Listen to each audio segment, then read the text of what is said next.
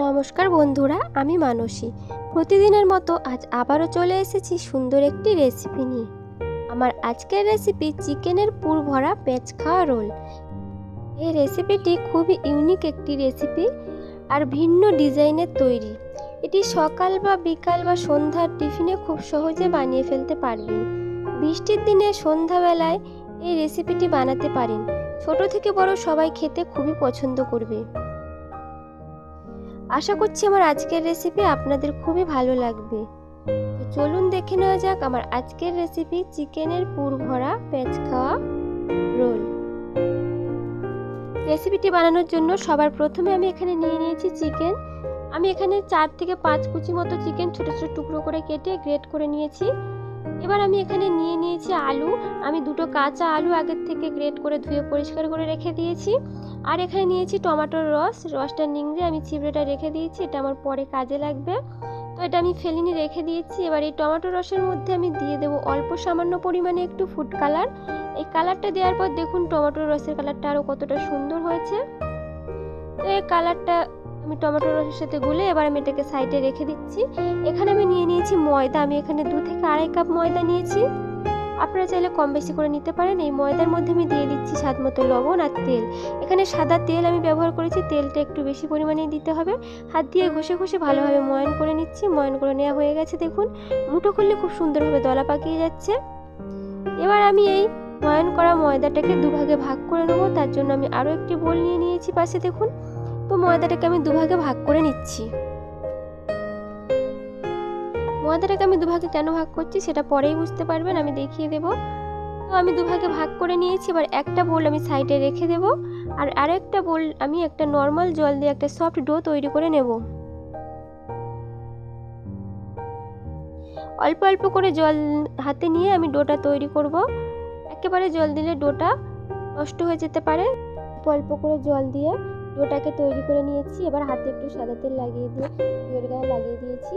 আর বাকি যে ময়দাটা রেখেছিলাম, আমি একই রকমভাবে মেখে নিয়েছি। মেখে নিয়ে একটু সাদা তেল দিয়ে ভালোভাবে ঢাকা দিয়ে রেখে দেব। আর আমি এর মধ্যে সেই টমেটোর পিউরিটা, যেটা আমি ফুড কালার মিশিয়ে রেখেছিলাম, সেটা দিয়ে দিয়েছি। দিয়ে মাখিয়েছি, যার জন্য কালার হয়েছে। এবার আমি এগুলোকে ঢাকা দিয়ে রেখে দিচ্ছি। ততক্ষণ আমি পুরটা বানিয়ে নেব। পুর বানানোর জন্য কড়াইতে দিয়ে দিয়েছি সর্ষের তেল। তার মধ্যে দিয়ে দিয়েছি এক বাটি পেঁয়াজ কুচি। পেঁয়াজটা ভাজা ভাজা হয়ে গেলে তার মধ্যে দিয়ে দিয়েছি আদা ও রসুন গ্রেট করা এক চামচ করে। দিয়ে দিচ্ছি সেই টমেটোর চিবড়েটা যেটা রেখে দিয়েছিলাম। এবার দিয়ে দিচ্ছি ধনে পাতা কুচি ও কাঁচা লঙ্কা কুচি। এগুলো একটু নাড়াচাড়া করে নেব। নাড়াচাড়া করে নেওয়া হয়ে গেলে আমি চিকেন গ্রেট করা চিকেনটা এর মধ্যে দিয়ে দিচ্ছি। চিকেনটা একটু ঝুরো ঝুরো করে ভাজা হয়ে গেলে আমি এর মধ্যে দিয়ে দেব গ্রেট করে রাখা আলু। আলুটাকে খুব ভালোভাবে মশলার সাথে মিশিয়ে নেব। মিশিয়ে নেওয়া হয়ে গেলে আমি এর মধ্যে দিয়ে দেব স্বাদ অনুযায়ী লবণ। আর দিয়ে দেব হলুদ গুঁড়ো পরিমাণ মতো। এই সবগুলো উপকরণ খুব ভালোভাবে মিশিয়ে নেব। এবার আমি এর মধ্যে দিয়ে দেব একটু লঙ্কার গুঁড়ো। এবার খুব ভালোভাবে আমি এটাকে একটু নাড়াচাড়া করে বেশ কিছুক্ষণ রান্না করে নেব। রান্না বেশ কিছুক্ষণ রান্না করে নিলেই রেডি হয়ে যাবে চিকেনের পুরটা। তো পুরটা আমার রেডি হয়ে গেছে, এবার আমি এটাকে নামিয়ে নেব। ফিরে এলাম পনেরো মিনিট পর, দেখুন ময়দার ডো দুটো কতটা সফট হয়ে আছে। এই ডোগুলোকে আমি আরও একটু মেখে নেব। মেখে নেওয়া হয়ে গেলে আমি এবারে একটা ডো সাইডে রেখে দিয়ে আরেকটি ডো নিয়ে নিয়েছি। এবার এই ডোটাকে আমি সমান ছ ভাগে ভাগ করে নেব। ছোট বড় করা যাবে না, সমান ছ ভাগে ভাগ করে নিয়ে আমি এটাকে গোল করে নেব। একই রকমভাবে আমি ওই কালারিং ডোটাকেও সমান ছ ভাগে ভাগ করে নেব। সমান ছ ভাগে ভাগ করে নিয়ে আমি এগুলোকেও গোল গোল করে নেব।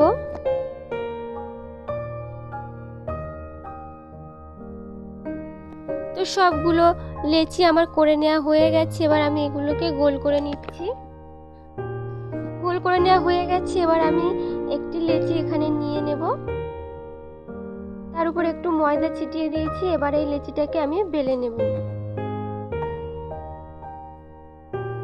লেচিটা বেলে নেওয়া হয়ে গেছে, এটাকে আমি সাইডে রেখে দেবো, দিয়ে একটি কালারিং লেচি আমি নিয়ে নেব। নিয়ে আমি এটাকেও বেলে নেব।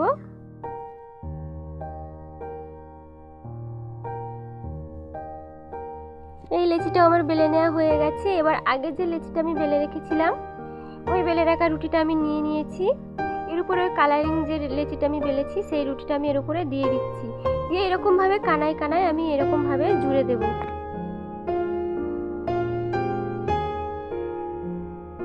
জুড়ে দেওয়া হয়ে গেলে আমি এই দুটোকে একসাথে একটু বেলে নেব। এবার কিন্তু আমি একটু লম্বাটে করে বেলবো।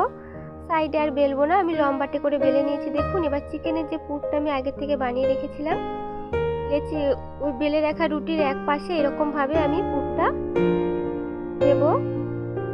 পুরটা আমার দেওয়া হয়ে গেছে, এবার আমি এরকমভাবে মুড়ে দেবো, এমনভাবে মুড়ে দেবো যাতে সাইড থেকে পুর বেরিয়ে না আসে। সেরকমভাবে চেপে চেপে মুড়ে দিচ্ছি।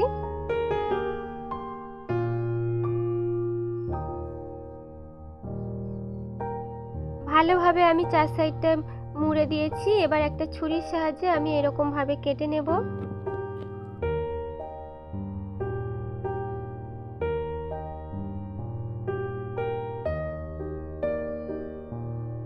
কেটে নেওয়া হয়ে গেছে। এবার আমি হাত দিয়ে এরকম ভাবে ঘুরিয়ে ঘুরিয়ে পেঁচিয়ে নেব।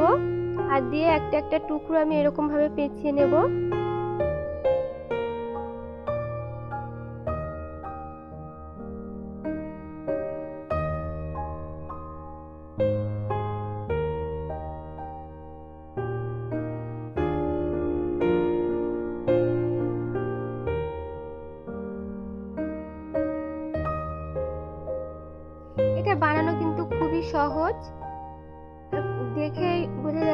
কত সুন্দর লাগছে দেখতে। আর এটা বানানোর পর আরও কতটা সুন্দর লাগবে, এখন থেকেই বুঝতে পারছেন নিশ্চয়ই? তো আমার রেডি হয়ে গেছে, এবার আমি এরকম ভাবে হাত দিয়ে ঘুরিয়ে ঘুরিয়ে এটাকে রোলের মতো করে নেব। এবার আমি এটাকে ঘুরিয়ে ঘুরিয়ে রোলের মতো করে নিয়েছি, আর এই কানাটাকে খুব ভালোভাবে আমি লাগিয়ে দিয়েছি। দেখুন, একটা আমার রেডি হয়ে গেছে। এই রোলটা কত সুন্দর লাগছে দেখতে, দেখুন। একই রকম ভাবে আমি আরও একটি রোল বানিয়ে আপনাদেরকে দেখিয়ে দিচ্ছি।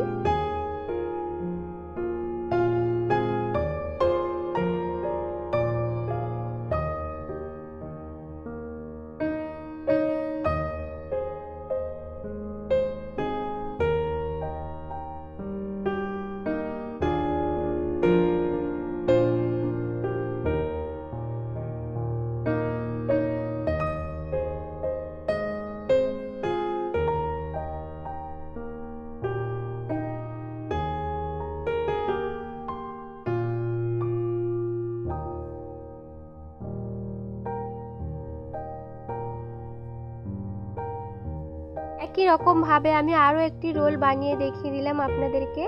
তো একে একে আমি সবগুলো রোল একই রকম ভাবে তৈরি করে নেব।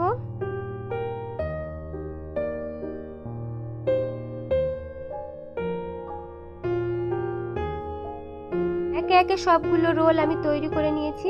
দেখুন কত সুন্দর লাগছে দেখতে। সাদা ও হলুদের কম্বিনেশন। কত সুন্দর দেখতে লাগছে, দেখে বোঝা যাচ্ছে। রেসিপিটি কতটা সুন্দর হতে চলেছে। এবার এই রোলগুলোকে ভেজে নেওয়ার পালা। তার জন্য কড়াইতে সাদা তেল গরম করতে দেব। আমি এখানে রিফাইন্ড অয়েল নিয়েছি। পরিমাণ মতো রিফাইন্ড অয়েল গরম করতে দিয়েছি। তেল ভালো মতো গরম হয়ে গেলে আমি রোলগুলোকে তেলের মধ্যে ছেড়ে দেবো একে একে।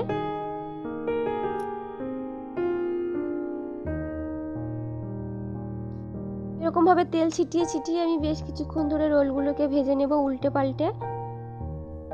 উল্টে পাল্টে আমি রোলগুলোকে ভেজে নেব ক্রিস্পি করে, আর একটু গোল্ডেন ব্রাউন কালার করে ভেজে নেব।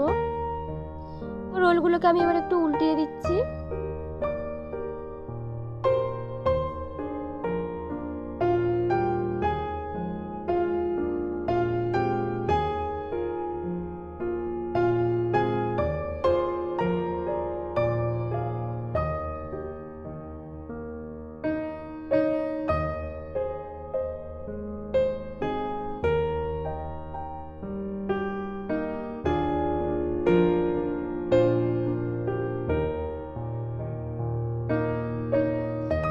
পাল্টে এপিট উপিট করে আমি রোলগুলোকে খুব ভালোভাবে ভেজে নেব। দেখুন অনেকটা কালার এসে গেছে আর দেখেই বোঝা যাচ্ছে এগুলো কতটা ক্রিস্পি হয়েছে আর কতটা মচমচে হয়েছে।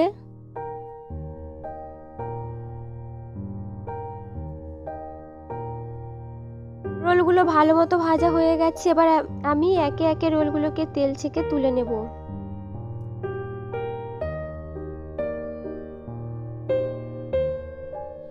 একে একে সবগুলো রোল আমি তেল থেকে তুলে নিয়েছি।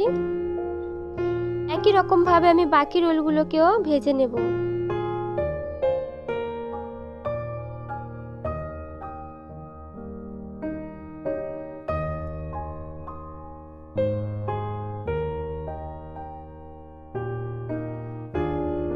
একই রকম ভাবে বাকি রোলগুলো আমি উল্টে পাল্টে ভেজে নিয়েছি। ক্রিস্পি করে এবার একে একে এই রোলগুলোকেও আমি তেল ঝরিয়ে তুলে নিচ্ছি। বন্ধুরা, খুব সহজেই তৈরি হয়ে গেল আমার আজকের রেসিপি চিকেনের পুর ভরা পেঁয়াজ খাওয়া রোল। রেসিপিটি কেমন লাগল অবশ্যই জানাবেন। ভালো লাগলে বাড়িতে একবার ট্রাই করে দেখতে পারেন। আমার চ্যানেলে নতুন বন্ধু হয়ে থাকলে চ্যানেলটিকে সাবস্ক্রাইব করে রাখার অনুরোধ রইল। সাবস্ক্রাইব করে পাশে থাকা বেল আইকনটিকে প্রেস করে অল বাটনটি ক্লিক করতে একদমই ভুলবেন না। তাহলে আমি চ্যানেলে যখনই কোনো নতুন রেসিপি দেবো, সবার আগে পৌঁছে যাবে আপনাদের কাছে। তাহলে আজ এই পর্যন্তই। আমি আবারও ফিরে আসব অন্য কোনো দিন নতুন কোনো রেসিপি নিয়ে। ততক্ষণ পর্যন্ত সবাই ভালো থাকবেন, সুস্থ থাকবেন। নমস্কার।